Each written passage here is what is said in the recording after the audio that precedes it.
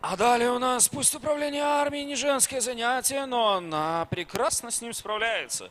Склоните голову пред командором третьего армейского корпуса Нильфхайма 87-й воздушно-десантной дивизии. Каори! Final Fantasy 15! Аранеа, город Минск. Встречай!